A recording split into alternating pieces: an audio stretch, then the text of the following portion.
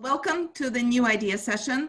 Um, if you are here, that means that you're probably mulling over uh, of your idea and how to start a company. So I'm going to go quickly through steps that are required to do it. And then at the end, I'm happy to answer your questions.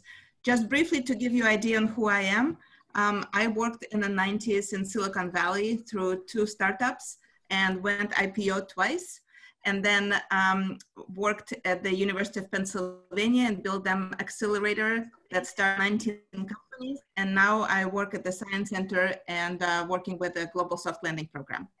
Uh, so Jay, give me a sign if the uh, network will not work for us, but otherwise I'll just go through it. All right, very quickly, I wanna start on the dark side of starting a startup. Most new ideas fail and you need to be prepared for it. Um, I'm just giving you some uh, pretty dire statistics. Unfortunately, it's uh, it's uh, the um, reality of a start, startup world. Um, you know, 80 to 90% of new products fail. We know that 90% of mobile apps are not active and so forth. So just be uh, armed with the statistics because information is key here. Um, it does happen to the best. This is uh, the slide with all the failed Google products. So don't feel bad about uh, uh, startups failing if even giants like Google failed so many times. Um, it happened to the biggest. These are failed Microsoft products. Um, and in case you're wondering, Google keeps tab of all the failed Microsoft products and Microsoft keeps tab on all the failed Google products. And now we have this wonderful information from them. And uh, indeed, it also happened to Steve Jobs. We all know of all his failed products before he uh, invented the unicorn of the iPod. Anyway, so armed with these statistics, if you still want to start a company, I congratulate you because it's a really great idea. Um, why would you want to start a company?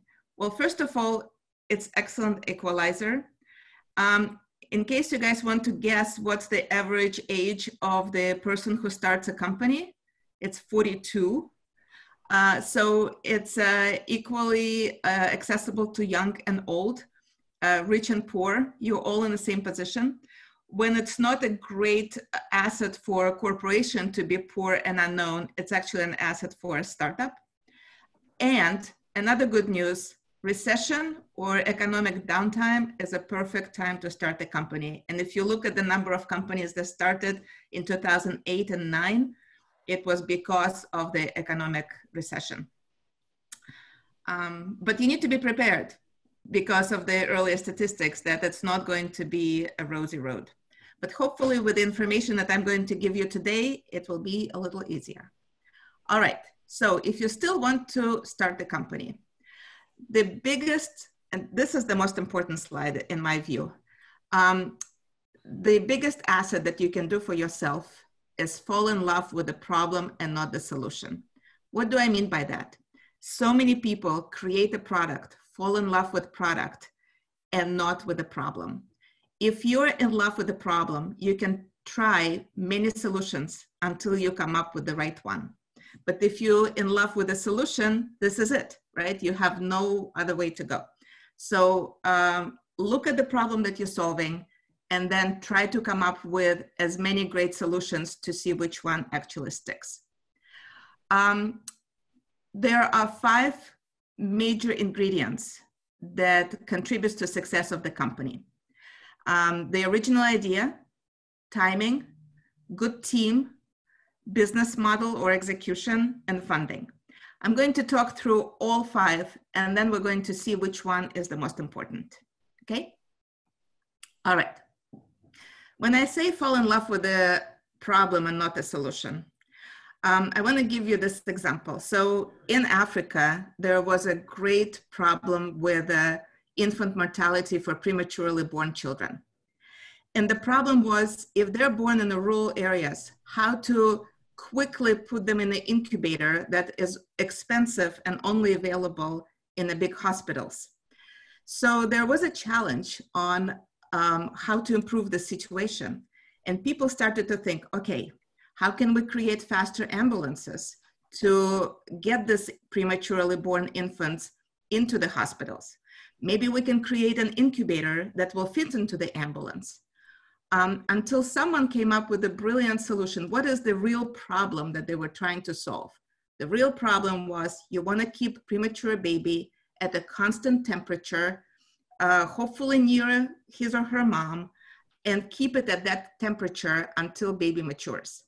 And so they came up with a solution of the baby carrier that keeps constant 37 degrees Celsius temperature with a wax that melts and isolates baby in a perfect environment. So again, if you concentrate on what is the real problem that you're trying to solve, not faster ambulances, not smaller incubators, but actually how to keep baby at a constant temperature until it matures, you come up with the best solution possible. So that's what I mean by falling in love with the problem and not the solution. All right.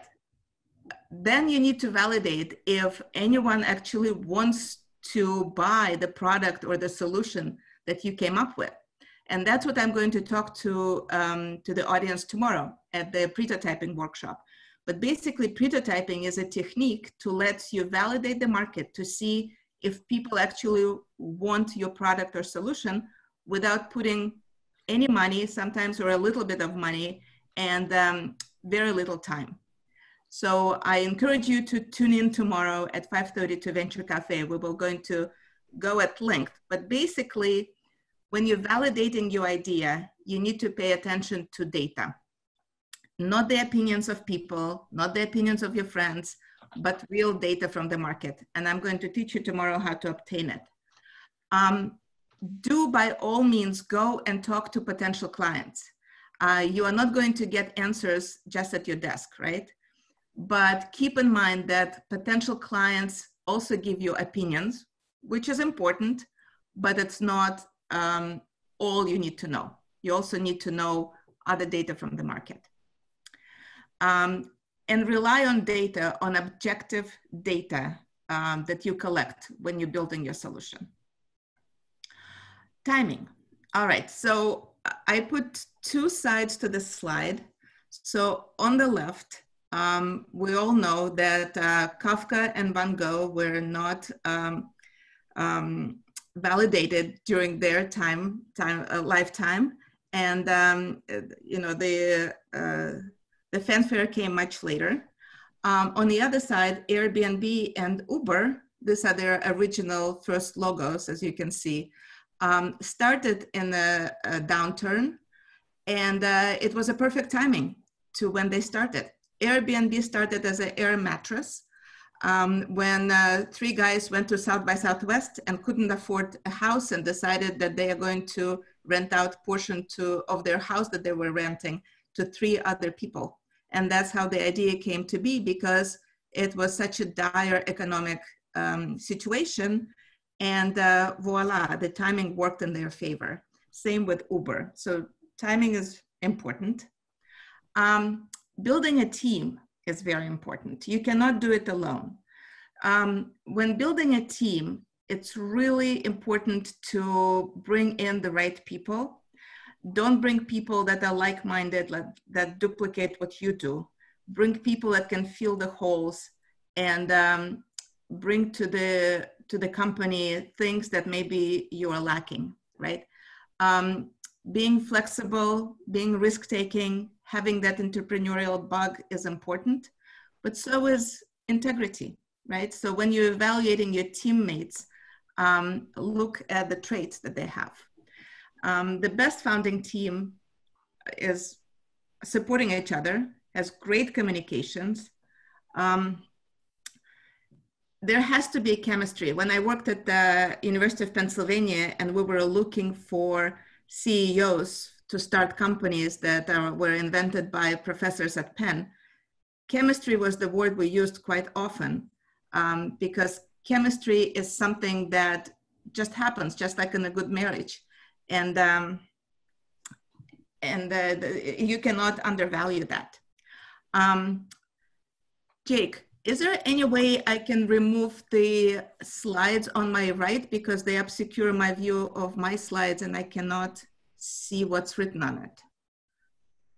Um, you know, like your pictures that I see all the f- pictures of you guys. Um, any way I can remove it? uh, let me see here. But if not, that's okay. I'll just, um, just, I, I don't remember what's written on the far right. Maybe you can tell me. Oh, uh, complimentary. Uh, so yeah, so that, and that's what I meant previously. So look for complementary skills. If you are an uh, extrovert and great at sales, you might want to find an introvert who is great at financials, right? So look for the skills that you might not have that are really important for the team in the company. Um, so business model.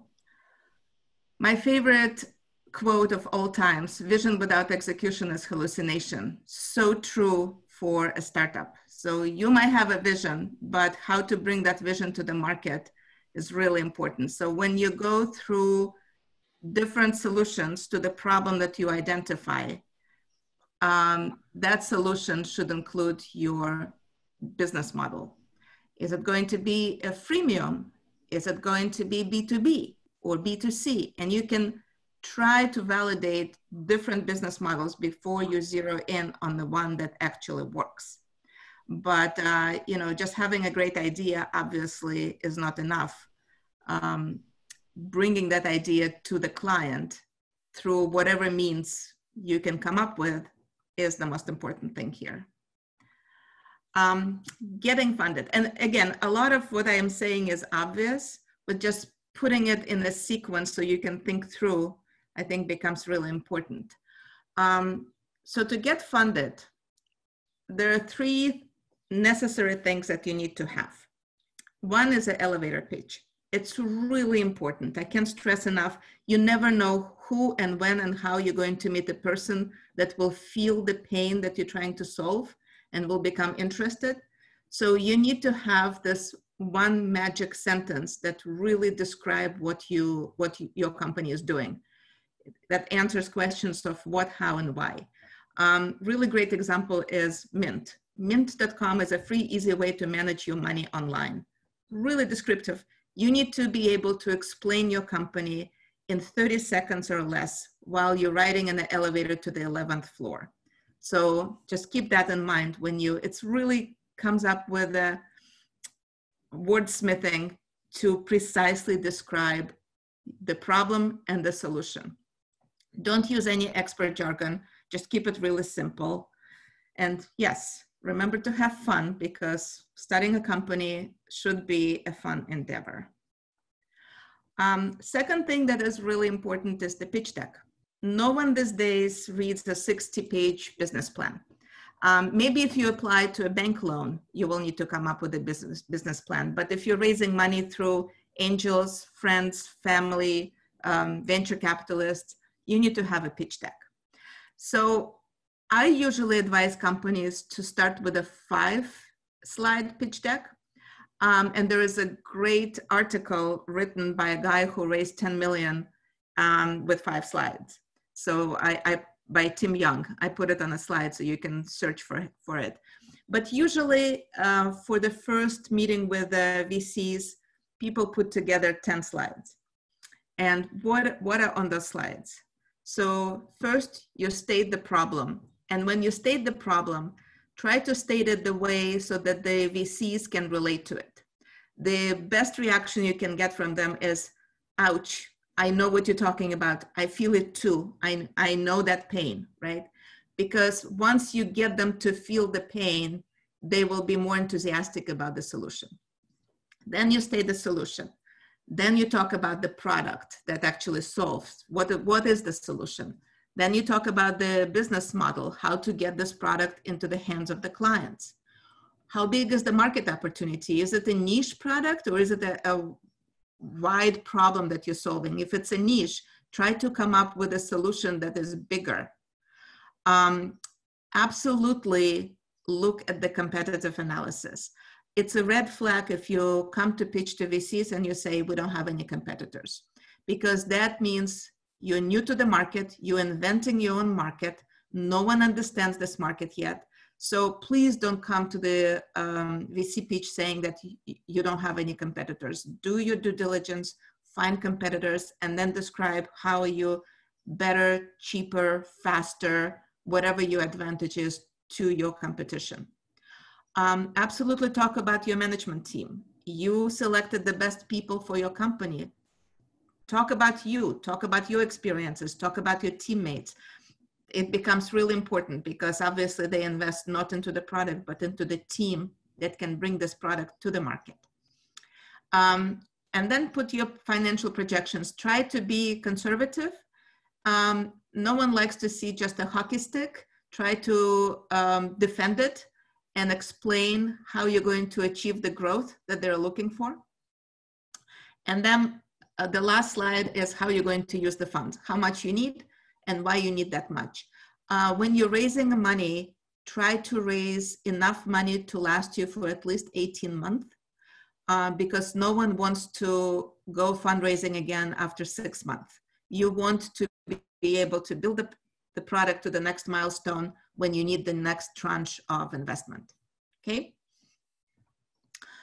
Um, and the last thing that you need to raise money is an executive summary. So you have your elevator pitch, you have your pitch deck. What is executive summary?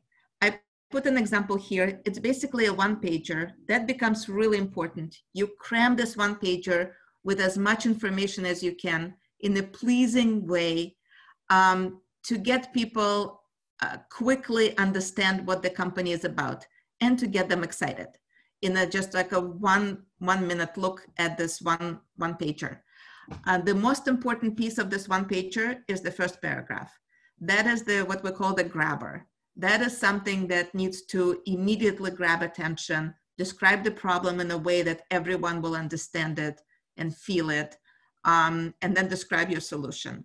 This is just one example of the executive page. There are tons of templates available online. So find the one that you're uh, most comfortable with um, and use it. But these are the obvious things that you need to state in your executive summary.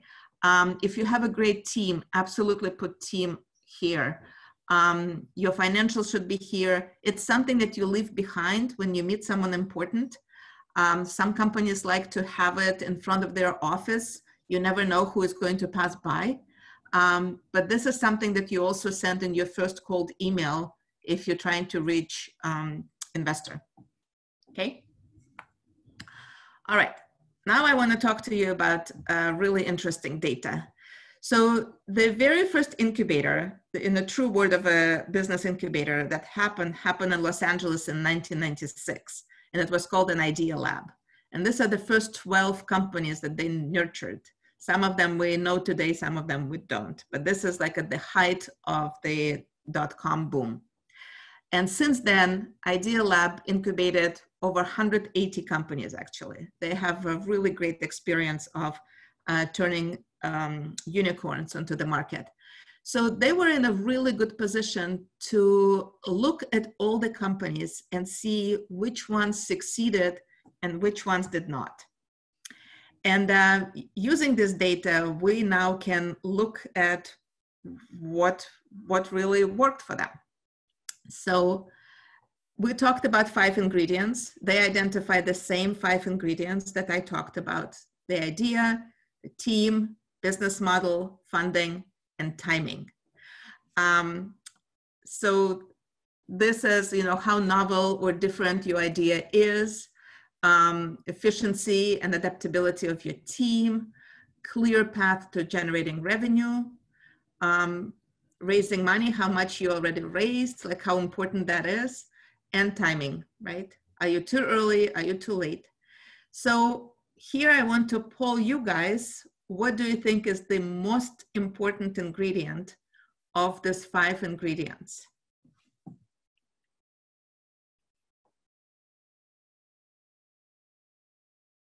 Come on. I see that there are more than one of you, so okay, good. All right. All right. Cool. All right, so, uh, uh-huh, let's keep coming. Okay, good.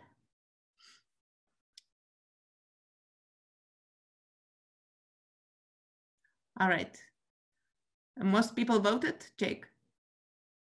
Yeah, okay. So I see that uh, most of you voted for the team. Um, and then uh, the uh, idea and the business model.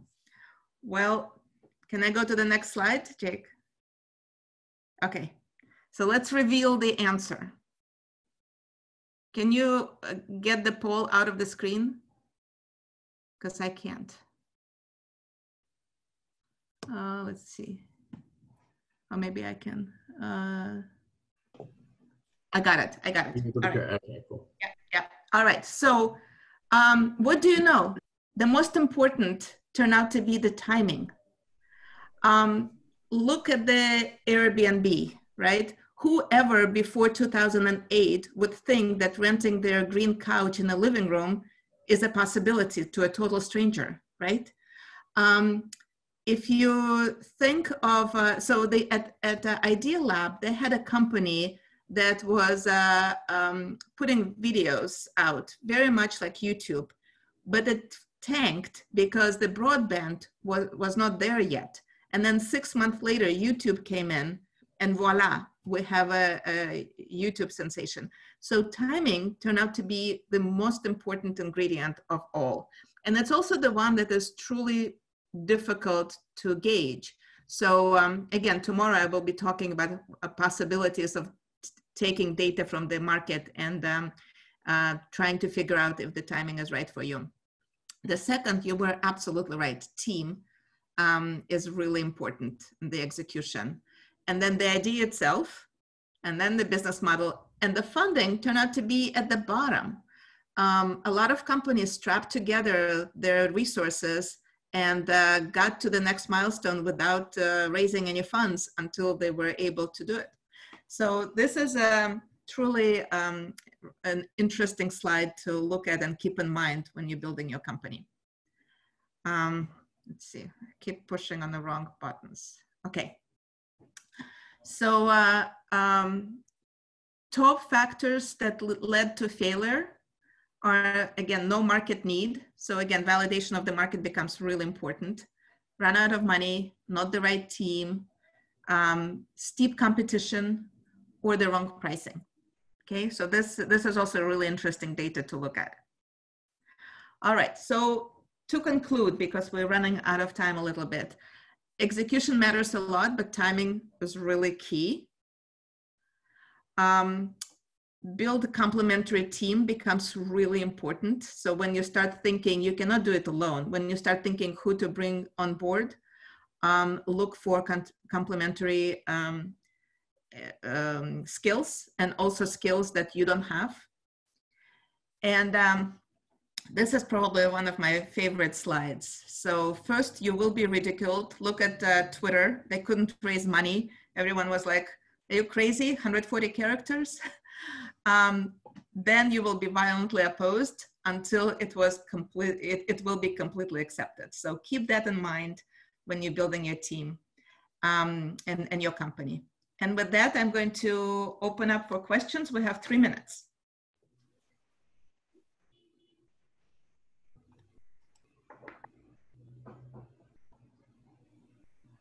All right. Uh, any questions, anyone? Uh, just be sure to unmute yourself if you are speaking currently.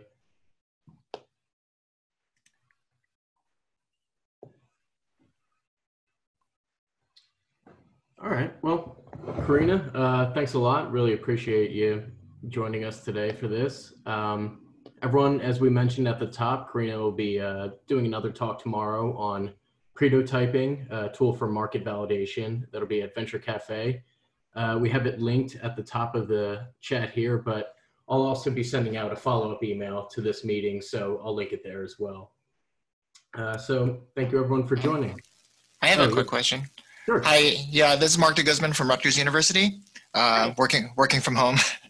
uh, uh, yeah, I just had a quick question. So these uh, statistics, those are from the that first incubator or from the data from that incubator. Um, so I work at the Rutgers I-Corps site program in Rutgers University, and we help uh, faculty entrepreneurs and student entrepreneurs.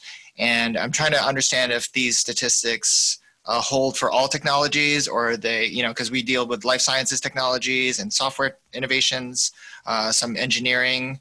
Um, so does this, these statistics really hold for everything? I mean, is there, from your experience, is there any guidance on uh, what one type of innovation uh, should focus on more than the others? Is there like a breakdown that you can offer suggestions for? Yeah, and uh, thanks for that question. I actually worked at I-Corps as a mentor at UPenn. So I, oh, great. Very, I'm very familiar with the program and I think it's an excellent program. Um, I truly believe that timing is the most important ingredient for whatever innovation you're working on. Even within the large companies, if they, as they're working on a new product, uh, but no matter if it's a technology or life science, um, sometimes in life science, you will be working on something that, um, that is too early for the market um, or may, maybe already too late. So yes, uh, I would say it's across the board and across the fields, timing and the team are two most important ingredients. Um, what you guys doing with I-Corps is excellent as the customer um, discovery, but tomorrow I will talk about how what you can do before even doing customer discovery because customer discovery is important but a lot of times it leads to just opinions. And you need to get real data so tune in tomorrow i don't i, don't want to sound like a salesperson but it's That's a good. long it's about 45 minute seminar that i'm going to specifically talk about how to validate the market before you start validation of the customers which is also really, truly important. Yeah, and so what's that called, the pretotyping? It's called pretotyping, yep. And it's before you even build a prototype. That's why it's not a typo. It's a, it's a, before you build a prototype, you want to pretotype, Yeah. Okay, great. I'll look, uh, I'll, I, unless you could put it in the chat, I'll just look for it on the uh, link. Uh, yeah, it's at Venture Cafe tomorrow at 5.30. Okay. If you Google Venture Cafe Philadelphia. Yeah. Uh, and I don't know, Jake, if you have a link. Yeah, here's a, a link to their website. Right oh, now. good. Excellent. Awesome. Great. Thank you so much. Sure. All right. Thanks for the question, Mark. Thank you. All right. Well, with that, I guess uh, we'll wrap things up here. Thank you again, Karina, and uh, thank you everyone else for joining us today.